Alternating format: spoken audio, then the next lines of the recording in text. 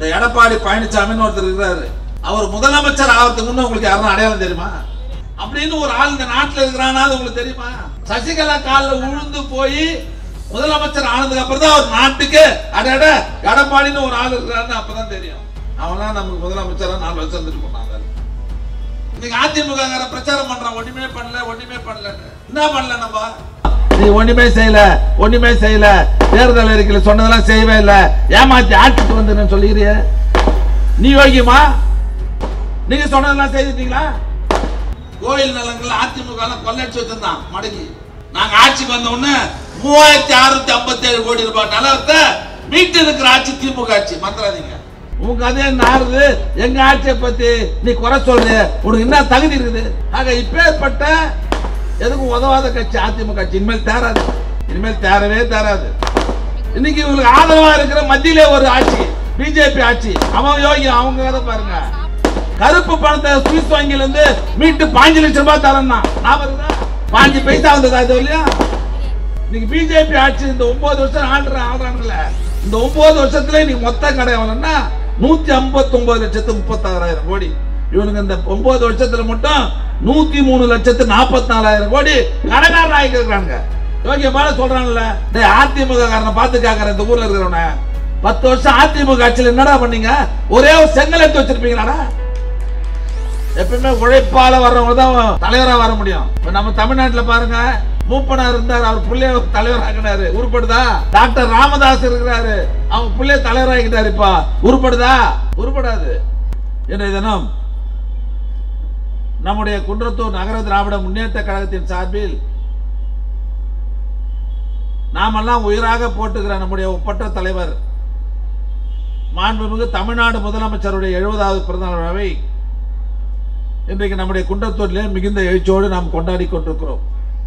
இன்னைக்கு நம்ம ஊரில் மட்டும் இல்லை இன்றைக்கு தமிழ்நாடு முழுவதும் எல்லா நகர ஒன்றியங்களிலே கிளைகளிலெல்லாம் இயக்கத் தோழர்கள் நம்முடைய தலைவருடைய பிறந்தநாள் விழாவை மிகுந்த எழுச்சியோடு கொண்டாடி கொண்டிருக்கிறோம். கொண்டாடுவது மட்டும் இல்லை அந்தந்த பகுதியில் இருக்கிற ஏழை எளிய மக்களுக்கு உடை வழங்குவது மரக்கன்றுகள் நடுவது கண்டானம் செய்வது மருத்துவ முகாம்கள் நடத்துவது. இப்படி ஏழை எளிய மக்கள்லாம் பயன்பெறக்கூடிய அளவிற்கு நலத்திட்ட உதவிகளும் செய்து கொண்டிருக்கிற இயக்கம் நம்முடைய இயக்கம். நீ தலைவருக்கு பிறந்தநாள் விழா கொண்டாடுறோம்னு சொன்னால் நாட்டில் எவ்வளோ கட்சிகள் இருக்குது உங்களுக்கு தெரியும். அந்தந்த கட்சிகளுக்குன்னு ஒரு தலைவர் இருக்கிறாங்க உங்களுக்கு தெரியும். ஆனால் நமக்கு கிடைத்திருக்கிற தலைவரை போல வேற எந்த இயக்கத்திற்கும் இல்லாத ஒரு தலைவரை நாம் தலைவராக பெற்றிருக்கிறோம். இன்னைக்கு அவர் வயசு எழுபது. எழுபது ஆண்டுகளில் ஐம்பத்தாறு ஆண்டு காலம் பொது வாழ்க்கைக்கு சொந்தக்காராக இருக்கிற ஒரே தலைவர் கலைஞருக்கு பிறகு இந்தியாவில் இந்தியாவுல இவரை தவிர வேற யாரும் அடையாளம் கட்ட முடியாது. சாதாரணமா வந்துட்டவர் இல்லை. தன்னுடைய உழைப்பால் தியாகத்தால் திறமையால் தானாக உருவெடுத்து வந்திருக்கிற தலைவராக நம்முடைய தலைவர் விளங்கிக் கொண்டிருக்கிறார். எப்பவுமே உழைப்பால வர்றவங்க தான் தலைவரா வர முடியும். இப்ப நம்ம தமிழ்நாட்டில் பாருங்க மூப்பனார் இருந்தார் அவர் புள்ளைய தலைவர் ஆக்கினாரு உருப்படுதா? டாக்டர் ராமதாஸ் இருக்கிறாரு அவங்க புள்ளைய தலைவர் ஆகிட்டாரு இப்ப. உருப்படுதா? உருப்படாது. ஆக உழைப்புக்கு தான் மிகப்பெரிய சக்தி இருக்கும் பெருமை இருக்கும். நம்முடைய தலைவரை பொறுத்தவரையிலும் ஐம்பத்தி மூணுல பிறந்தாரு. அறுபத்தாறுல பதிமூணு வயசுல கோபாலபுரத்தில் இளைஞர் மன்றம் ஆரம்பிக்கிறார். எழுபத்தாறுல ஒரு வருஷம் மிஸ்ஸாவுக்கு போறாரு. ஒரு வருஷம் ஜெயிலில் இருந்தவர் கலைஞர் மகன் என்ற ஒரே காரணத்தினால. எண்பத்தி மூணுல இளைஞரணி செயலராகிறார் எண்பத்தி ஒன்பதுல சட்டமன்ற உறுப்பினராக முதல் முதல்ல வராரு. ஆயிரம் விளக்கு தொகுதியில். தொண்ணூத்தாறுல முதல் முதல்ல சென்னை மாநகர மக்களால் தேர்ந்தெடுப்ப தேர்ந்தெடுக்கப்படுகிற முதல் மேயர் நம்முடைய தலைவர்.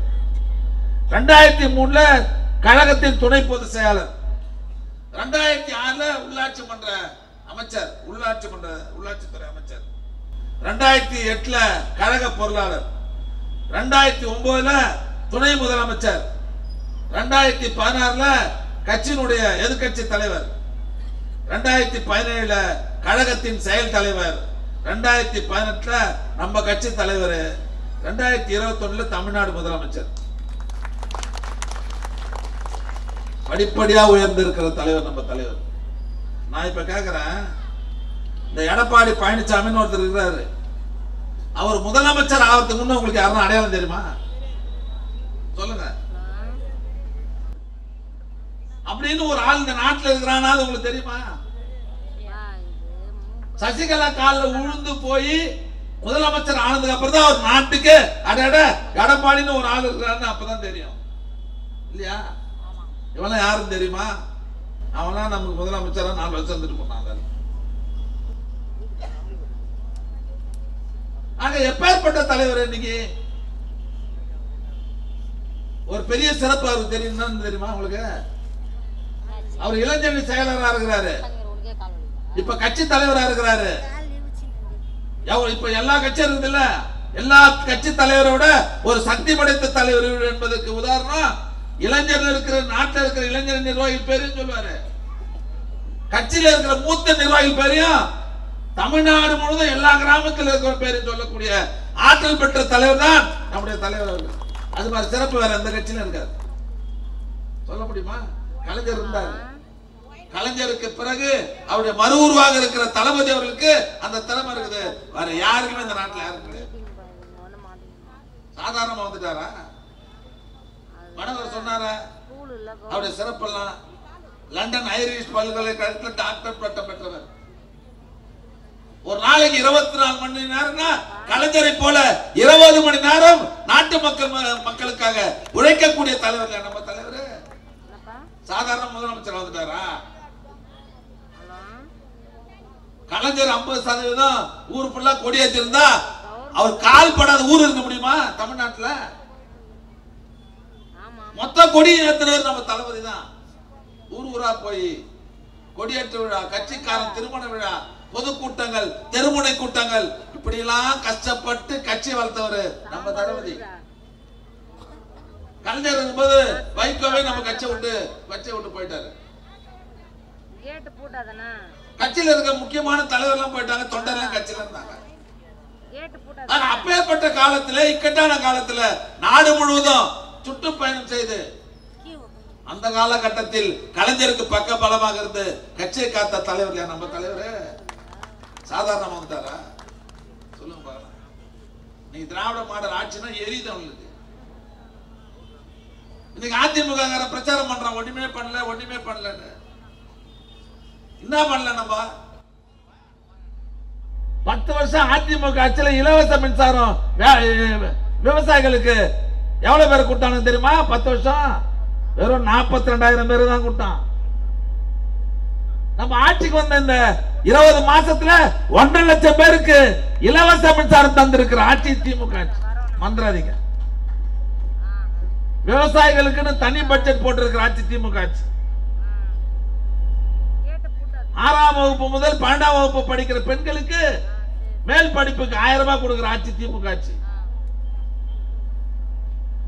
இல்லையா? காலை சிற்றுண்டி திட்டம் தொடக்க பள்ளிகளில. ஆயிரத்தி தொள்ளாயிரத்தி எழுபத்தி எட்டு தொடக்க பள்ளிகளில் ஒரு லட்சத்து அறுபத்தி ஆறாயிரம் மாணவர்களுக்கு காலை சிற்றுண்டி திட்டம். ரொம்ப கிராமங்கள்ல ஏழையா இருப்பாங்க. அவங்க பட்டி இல்லாத குழந்தைய பட்டியோட ஸ்கூலுக்கு அனுப்பிச்சிருவாங்க. இல்லையா?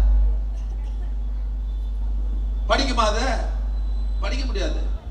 இதை உணர்ந்த நம்முடைய தலைவர் அவர்கள் தொடக்க பள்ளிகளில் இருக்கிற அந்த மாணவர்களுக்கு காலை சுற்றுண்டி திட்டத்தை இந்தியாவிலேயே முதல் முதல்ல தமிழ்நாட்டில் தான் கொடுக்குறாரு. இப்ப இந்த ஸ்கூலுக்குலாம் வரப்போகுது. மூணாவது கட்டமா? இந்த தொடக்க பள்ளிக்கு. மகளிர் சுய உதவி வா- குழு வாங்கின கடனை தள்ளுபடி பண்ணியிருக்கோம். தேர்தல் அறிக்கையில் சொன்னார? நாங்க ஆட்சிக்கு வந்தா கூட்டுறவங்கள வாங்கின மகளிர் சுய உதவி குழு எல்லாம் தள்ளுபடி பண்ணுவேன்னாரு ரெண்டாயிரத்தி ஐநூத்தி எழுபத்தி ஆறு கோடி ரூபாயை ஒரே உத்தரவுல தள்ளுபடி பண்ணி பதினஞ்சு லட்சத்தி எண்பத்தி எட்டாயிரத்தி முன்னூத்தி ஒன்பது பெண்கள் இன்னைக்கு பயன்பட்டு இருக்கிறார்கள் என்பதை நான் மகிழ்ச்சியோடு தெரிவித்துக் கொள்ள கடமைப்பட்டிருக்கிறேன். அவன் நகை கடன் கூட்டுறவு வச்ச கடன் அஞ்சு சவரத்துக்கு கீழே இருக்கிற நகையெல்லாம் நீங்க பணமே கட்டாம திருப்பி நகை கொடுப்பேன்னு சொன்னோம். இன்னைக்கு தமிழ்நாடு முழுவதும் ஐயாயிரத்தி இருநூத்தி ஐம்பது கோடி ரூபாய் நகை கடனுக்கு பேங்க்கு கொடுத்துட்டு பதினாலு லட்சத்து நாற்பதாயிரம் பேருக்கு நகையை திருப்பி தந்திருக்கிற தலைவர் நம்முடைய முதல்வர் இல்லையா? மனோகர் சொன்னார நாங்க ஆட்சிக்கு வந்தா இனி நான் பெண்கள் கட்டணம் இல்லாமல் பயணம் செய்யலாம்னு சொல்லி சொன்னாரு. உத்தரவு போட்டார. இன்னைக்கு தமிழ்நாடு முழுவதும் நாற்பது லட்சம் பெண்கள் இன்னைக்கு இலவசமா பயணம் பண்றாங்களே. இல்லையா? அரசு ப- அதுக்கு முன்ன பெண்களுக்கு முப்பது சதவீதம் தான் இடஒதுக்கீடு. இன்னைக்கு நாற்பது சதவீத இடஒதுக்கீடு தந்திருக்கிற ஆட்சி திமுக ஆட்சி. அதுக்கு முன்ன அரசு பெண்கள் அரசு துறையில வேலை பார்த்தா ஒன்பது மாசம் தான் கர்ப்பிணி பெண்களுக்கு விடுமுறை. விடுப்பு. இது போதாது என்று இன்றைக்கு ஒரு வருஷம் விடுப்பு தந்திருக்கிற ஆட்சி திமுக ஆட்சி இல்லையா? கோயில் நிலங்கள் அதிமுக எல்லாம் கொள்ளடிச்சு வச்சிருந்தான் மடங்கி நாங்க ஆட்சிக்கு வந்த உடனே மூவாயிரத்தி அறுநூத்தி ஐம்பத்தி ஏழு கோடி ரூபாய் நிலத்தை மீட்டு இருக்கிற ஆட்சி திமுக ஆட்சி. மந்திராதீங்க அதை விட ஒரு பெரிய இளைஞர்கள் நிறைய பேர் வந்திருக்கிறீங்க. இன்னைக்கு திமுக ஆட்சி வந்ததுக்கு அப்புறம் நூத்தி தொண்ணூத்தி ஏழு தொண்ணூத்தி ஏழு புரிந்துணர்வு ஒப்பந்தங்களை போட்டு ரெண்டு லட்சத்தி இருபத்தி ரெண்டாயிரத்தி நானூத்தி எழுபது கோடி முதலீட்டுல மூணு லட்சத்தி முப்பத்தி ஒன்பதாயிரத்தி அறுநூத்தி ஐம்பது நபர்கள் வேலை பெறக்கூடிய அளவிற்கு இன்னைக்கு தொழிற்சாலைகள் எல்லாம் நம்முடைய தமிழகத்தில் கொண்டு வந்திருக்கிறோம். இல்லைன்னு சொல்ல முடியுமா? சொல்லுங்க பார்க்கலாம் இவ்வளவு வேலையை நாங்க பாத்துக்கிறோம் நீ ஒண்ணுமே செய்யலன்னு சொல்லி என்ன நியாயம்? சொல்லுங்க. நீ ஒண்ணே ஒன்று தானே சொல்ல முடியும். என்ன சொல்லு பார்க்கலாம். என்ன சொல்லு பார்க்கலாம். நீ சொல்லு பார்க்கலாம். இந்த ஆயிரம் ரூபாய் உரிமை தொகை தரேன் நீங்களே இன்னும் அது வரலையான்னு கேட்பேன். கேட்குறீங்களா இல்லையா? எல்லாம் கேட்குது கலைஞரா இருந்தாலும் கலைஞர் மறுவூரா இருக்க நம்முடைய தலைவரா இருந்தாலும் தேர்தல் அறிக்கையில சொன்னதையெல்லாம் நிச்சயமா செய்யக்கூடிய தலைவர் நம்ம மாசம் இப்ப பட்ஜெட்ல அறிவிக்க போறாரு. ஏற்கனவே ஈரோட்ல சொல்லிட்டாருல. நீங்க டிவில பாத்தீங்கல்ல? பட்ஜெட்ல அறிவிச்சு இன்னும் விரைவில். தமிழ்நாடு முழுவதும் அந்த குடும்ப தலைவிக்கு ஆயிரம் ரூபாய் அந்த உரிமை தொகை உங்களை வந்து சேர இருக்கிறது என்பதை இந்த கூட்டத்திலே நான் தெரியப்படுத்த கடமைப்பட்டிருக்கிறேன். இவ்வளவு வேலை நாங்க பாத்துக்கிறோம் நீ ஒண்ணுமே செய்யல ஒண்ணுமே செய்யல. தேர்தல் அறிக்கையில் சொன்னதெல்லாம் செய்யவே இல்லை. ஏமாத்தி ஆட்சிக்கு வந்து சொல்லுகிறிய? நீ யோகியமா? நீங்க சொன்னதெல்லாம் செய்துட்டீங்களா? செல்போன் தருவேன்னு சொன்னா ஞாபகம் இருக்குதா உங்களுக்கு? இருக்குதா இல்லையா? நம்மளை இவனுங்கெல்லாம் ஏமாத்துறதுக்கு காரணம் என்னன்னா நம்ம வந்து மறந்துடுவோம் எல்லாத்தையும். ஒரு குடும்ப பெண்ணுக்கு செல்போன் தருவேன் நானுங்க எவ்வளவு பேரை கொடுத்தான் ஏமாத்திட்டான். இருபது லிட்டர் மினரல் வாட்டர் கொடுக்கணும் நான் ஒரு குடும்பத்துக்கு. அவன் ஆட்சியில இருக்கிற குழாவிலே தண்ணி வரல. வேலைக்கு போற பெண்கள் ஸ்கூட்டி தருவேன்னா இவ்வளவு பெண் வந்து இருக்கிறீங்க. நீங்க வாங்க தேவையில்ல. உங்க உறவினர்களாவது ஒருத்தர் வாங்கினாலும் கை தூக்கு பார்க்கலாம். போட்டாங்களா? சொன்னதோட சரி. அறுபது வயது பெரியவங்க எல்லாம் இலவச பஸ் பாஸ் தான். எவ்வளவு பேர் பஸ் பாஸ் கொடுத்தான் சொல்லுங்க பார்க்கலாம். உங்க கதையை நாருது எங்க ஆட்சியை பத்தி நீ குறை சொல்ற உனக்கு என்ன தகுதி இருக்குது? ஆக இப்பேற்பட்ட எதுக்கும் உதவாத கட்சி அதிமுக கட்சி. இனிமேல் தேராது. இனிமேல் தேரவே தேராது. வேணா பாருங்க. இப்ப நான் சொல்றேன். இன்னைக்கு இவங்களுக்கு ஆதரவா இருக்கிற மத்தியிலே ஒரு ஆட்சி. பிஜேபி ஆட்சி. அவன் யோகி அவங்க கதை பாருங்க. கருப்பு பணத்தை சுவிஸ் வங்கியில இருந்து மீட்டு பாஞ்சு லட்சம் ரூபாய் தரேன்னா. ஞாபகம் ஞாபகம் இல்லையா? ரெண்டாயிரத்தி பதினாலுல ஆட்சிக்கு வருகிறதுக்கு முன்ன இதே இன்னைக்கு பிரதமரா இருக்கிற மோடி எங்களை ஆட்சி கொண்டு வாங்க.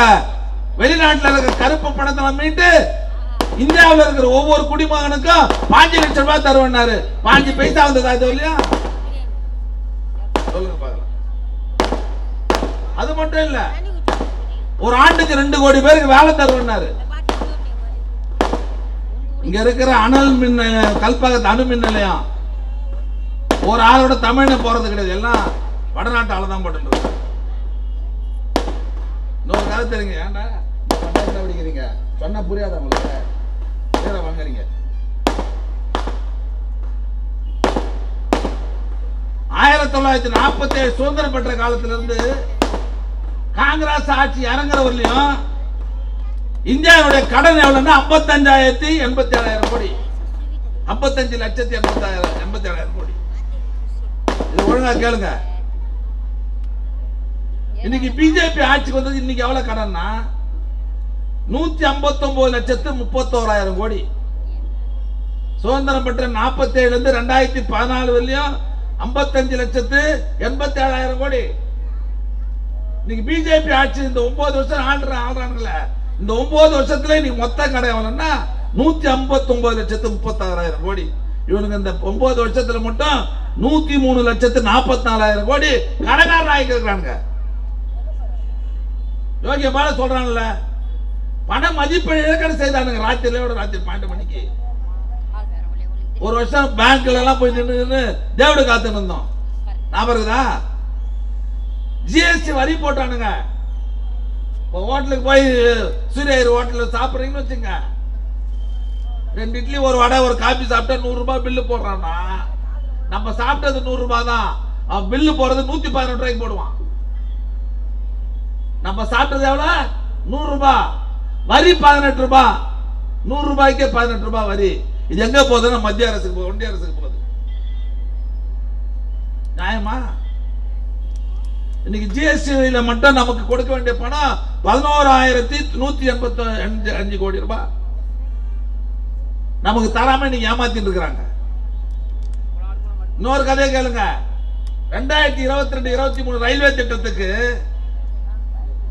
பட்ஜெட் போட்டாங்கல்ல அதுல நமக்கு வட மாநிலங்களுக்கு ஒதுக்கப்பட்ட ரூபாய் எவ்வளவு தெரியுமா? பதிமூணாயிரத்து இருநூறு கோடி வட மாநிலங்களுக்கு. தென் மாநிலங்களுக்கு ஒதுக்குனது எவ்வளவு தெரியுமா? வெறும் 59 கோடி. நியாயமா? சொல்லுங்க போட்டு எய்ம்ஸ் மருத்துவமனைன்னு போட்டு இன்னும் கவர்மெண்ட் வாழ் கூட போடல. அதுக்கு அடுத்து தான் உங்ககிட்ட வர போறோம் இப்போ நாங்க. பெட்ரோல் விலை ரெண்டாயிரத்தி பதினாலு. காங்கிரஸ் ஆட்சி போகிற போது அறுபது ரூபாய் இருந்தது ஒரு லிட்டரு.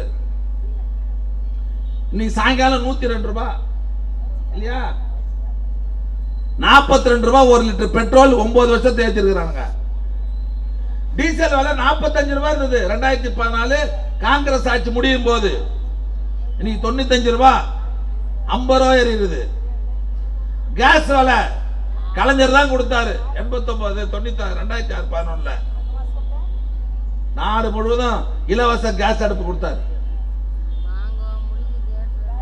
நானூத்தி பதினாலு ரூபாய் இருந்ததுங்க. காங்கிரஸ் ஆட்சி இறங்குற போது. இன்னைக்கு எவ்வளோ? இன்னைக்கு எவ்வளோ? ஆயிரத்தி ஆ? ஆயிரத்தி நூத்தி பதினெட்டு ரூபாய் ரைட்டா எத்தனை வந்து போறவனுக்கு அவனுக்கு ஒரு ஐம்பது ரூபா தரணும். ஆயிரத்தி நூத்தி பதினெட்டே வச்சுக்க. நானூத்தி பதினாலு ரூபாய் இருந்தது இன்னைக்கு ஆயிரத்தி நூத்தி பதினெட்டு ரூபாய் எழுநூத்தி நாலு ரூபாய் இருக்குது நியாயமா?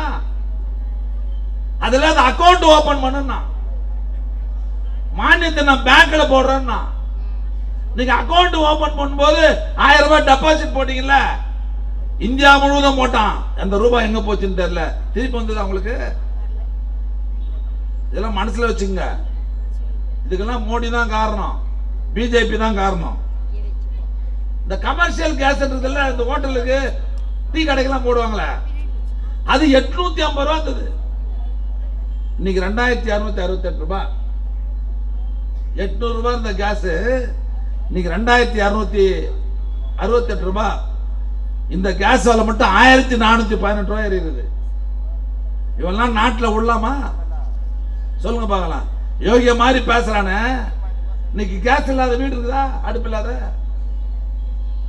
ஆக மக்களை துன்புறுத்துகிற ஒரு ஆட்சி மேல அதுக்கு துணை போகிறவங்க இங்க இருக்கிற அதிமுக உன்னை ரெண்டு பேருமே விட்டுறக்கூடாது. ஞாபகம் வச்சுங்க. அது மட்டும் இல்லை என்ன செய்யல என்ன செய்யல? இந்த ஊருக்கு நாங்க என்னென்ன செய்திருக்கோம் தெரியுமா? இன்னைக்கு இந்த ஊர்ல மட்டும் இல்ல எல்லா ஊருக்கும் அந்தந்த ஊர்ல அவ்வளவு பா- வேலை பார்த்துக்கிறோம். ரெண்டு வருஷத்துல. டேய் அதிமுக காரனை பார்த்து கேட்கறேன் இந்த ஊர்ல இருக்கிறவன. பத்து வருஷம் அதிமுக ஆட்சியில் என்னடா பண்ணீங்க? ஒரே ஒரு செங்கல் எடுத்து வச்சிருப்பீங்களாடா? சொல்லு. நான் சொல்றேன் கேட்டுக்க. இந்த பேரூராட்சி நான் பேரூராட்சி நகராட்சி ஆயிக்கட்டும் மேத்தா நகர் சம்பந்த நகர்ல முப்பது கோடியில மழைநீர் வடிகால் வேலையை முடிச்சிட்டோம். அறிவுசார் மையம் ரெண்டு கோடி ரூபாயில கட்டிட்டு இருக்கிறாங்க. ஒன்றரை கோடியில சுடுகாடு தகட மேடை ரெடி ஆகிட்டு இருக்குது. மூணு கோடி ரூபாயில பாலாவராயன் குளம் சீரமைக்க போறோம். டெண்டர் வச்சாச்சு. ரெண்டரை கோடி ரூபாயில இந்த தொடக்கப்பள்ளி கட்டடம். இந்த ஸ்கூல்ல இருநூத்தி ஐம்பது பேர் தான் படிச்சேன் நான் படிச்ச ஸ்கூல் இது. இருநூத்தி ஐம்பது பேர் இருந்தாங்க. பராமரிப்பு இல்லாத இந்த ஸ்கோப் இன்டர்நேஷனல் கட்ட சும்மா கொடுத்தாங்க. எனக்கு வேண்டிய ஆளுங்க. ஒன்றரை கோடி ரூபாய்க்கு நம்ம ஆட்சி இருக்கும்போது அது சும்மா கட்டி கொடுத்தாங்க. அது தலைவர் தான் வந்து திறந்தாரு. இப்போ ரெண்டரை கோடி ரூபாய்க்கு பக்கத்தில் இடம் இல்லைன்னு சொல்லி இப்போ ஆயிரத்தி அறுநூத்தி ஐம்பது குழந்தைங்க இருக்குது. இடமே இல்லை படிக்கிறதுக்கு. இப்போ ரெண்டரை கோடி ரூபாயில் இந்த கட்டடம் கட்டுறோம். அரசு கலை அறிவியல் கல்லூரி. காலேஜ் எடுத்து வந்தா நம்ம ஊருக்கு. அந்த ஸ்கூல்லே இப்போ கட்டடம் கட்ட போகிறோம் ஹைஸ்கூல்லையே முருகன் கோயில் திரு சிவன் கோயில் வேம்பலியம்மன் கோயிலுக்கு கும்பாபிஷேகம் பண்ணியிருக்கிறோம் பண்ணிக்கிறோமா இல்லையா? இவ்வளோ வேலையும் எவ்வளோ நாளில்? ஒன்றரை கோடி ரூபாயில் தாலுகா ஆஃபீஸு திறக்க போகிறோம் மின் பாடை போக்க நம்ம ஊரில் மட்டும் முப்பது டிரான்ஸ்ஃபார்ம் மாற்றிருக்கிறோம் இந்த ஊரில் மட்டும். நீ ஒரே ஒரு வேலையை சொல்கிறா நாங்கள் இதை செய்துன்ட்டு. சொல்லு. ஒன்று சொல்லு. ஆக இந்த ஆட்சியை பொறுத்தவரையில் ஏழை எளிய மக்களுக்காக நடத்தப்படுகிற ஆட்சி. தாழ்த்தப்பட்ட பிற்படுத்தப்பட்ட மக்களுடைய வாழ்வை வளப்படுத்துகிற ஆட்சி திமுக ஆட்சி. ஆக இப்பேற்பட்ட ஆட்சிக்கு நம்முடைய தலைவருக்கு ராத்திரும் பகலமா உழைச்சிட்டு இருக்கிறார் அப்பேற்பட்ட தலைவருக்கு என்றைக்கும் நீங்கள் துணை நிற்க வேண்டும். தொடர்ந்து எப்போதும் வழங்குகிறது போல உங்களுடைய ஆதரவை வழங்க வேண்டும் என்று உங்களை எல்லாம் அன்போடு கேட்டுக்கொண்டு வருகை தந்திருக்கிற அனைவருக்கும் நன்றி சொல்லி விடைபெறுகிறேன். நன்றி வணக்கம்.